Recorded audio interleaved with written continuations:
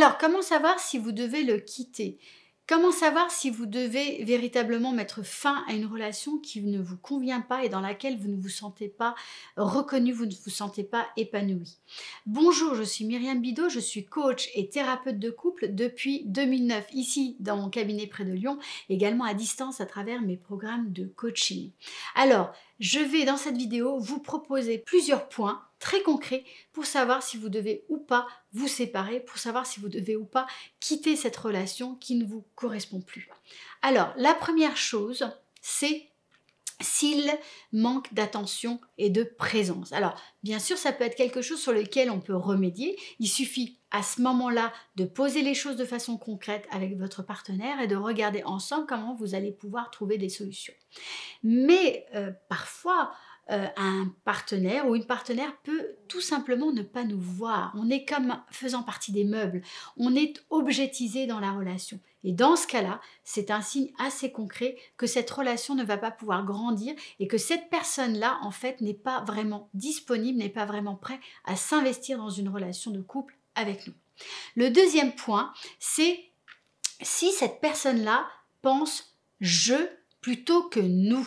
Qu'est-ce que ça veut dire penser je? C'est une personne qui est égoïste, qui pense principalement à lui ou à elle, qui met en place des projets plutôt personnels que des projets de couple, qui se positionne toujours d'une façon qui fait qu'on se sent en dehors du coup, qu'on se sent à l'extérieur et qui fait qu'on ne se sent pas en sécurité dans cette relation. Donc si cette personne pense je plutôt que couple, plutôt que nous, en général, encore une fois, en parler, poser les choses de façon concrète et voir si cette position-là va pouvoir se dénouer progressivement quand, au fur et à mesure que la relation va pouvoir se construire.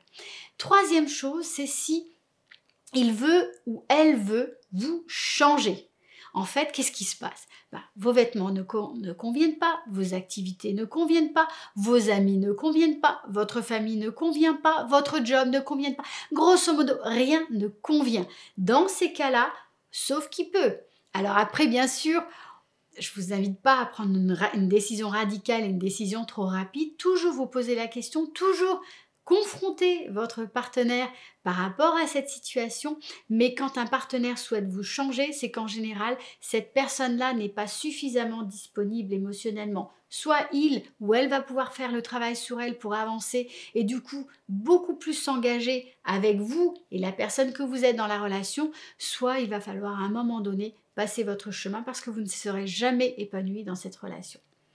Quatrième point, vous êtes avec quelqu'un qui est manipulateur. Et le signe, c'est que vous vous sentez mal dans la relation. Vous n'arrivez pas à être bien. Vous êtes constamment avec des douleurs de ventre, des choses qui font que vous êtes jamais vous sentez jamais à votre place, vous sentez jamais suffisamment bien ou suffisamment euh, ajuster pour pouvoir, entre guillemets, satisfaire cette personne et vous sentez vraiment un mal-être, un malaise qui pointe et qui devient de plus en plus persistant. La manipulation, j'en parle beaucoup plus précisément dans d'autres vidéos que je vous invite à regarder, mais grosso modo, si vous êtes avec une personne manipulatrice, en général, soit vous arrivez à dépasser ce stade-là parce que vous arriverez à construire une relation plus authentique avec la personne, soit vous allez devoir mettre un terme à cette relation.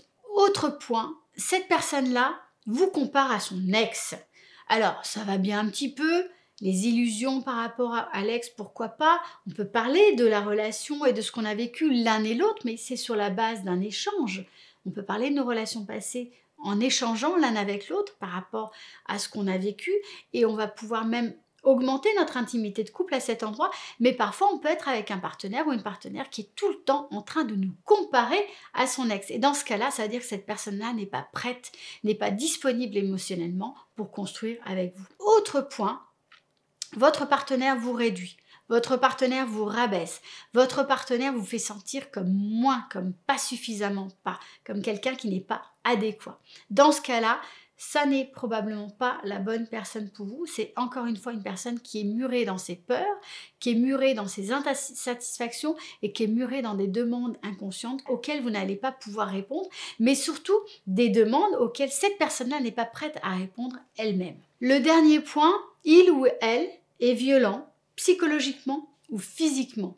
Dans ce cas-là, soit la violence psychique ou émotionnelle est, est gérable, c'est-à-dire que vous allez pouvoir y remédier ensemble par la discussion et par l'affirmation de vous-même, soit c'est quelque chose de récurrent, il y a de la violence physique, dans ce cas-là, ce n'est pas acceptable, il va falloir vous positionner d'une façon très ferme et très claire, que cette violence puisse cesser. Si ce n'est pas le cas, il faudra vous séparer. Il est tout à fait normal qu'une relation ait des hauts et qu'une relation et des bas, mais de manière générale, ce qui se passe dans une relation, c'est qu'on va avoir besoin de mobilité et de souplesse. Si cette mobilité, si cette souplesse, si ces ajustements ne sont pas possibles dans la relation, ça veut dire que la relation ne peut pas grandir, qu'elle est fixe, qu'elle est figée, que vous êtes embourbé dans des difficultés.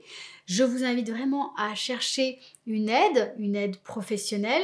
Si vous posez vraiment beaucoup de questions, vous pouvez vous faire accompagner à titre individuel. J'ai d'ailleurs un lien vers mes accompagnements juste en dessous de cette vidéo. Vous pouvez cliquer dessus et regarder si je vais pouvoir vous accompagner. Et puis, si vraiment cette situation est figée et bloquée et que cette situation perdure, eh bien probablement que la séparation est l'unique solution pour pouvoir reprendre votre vie et pour pouvoir vous épanouir en tant que personne. Si cette vidéo vous a plu, je vous invite à mettre un petit pouce bleu juste en dessous de la vidéo et à vous abonner à ma chaîne parce que je euh, publie deux fois par semaine de nouvelles vidéos pour pouvoir vous aider à rencontrer la bonne personne et surtout à vous épanouir de façon durable dans votre relation de couple. Je vous dis à très bientôt pour une prochaine vidéo.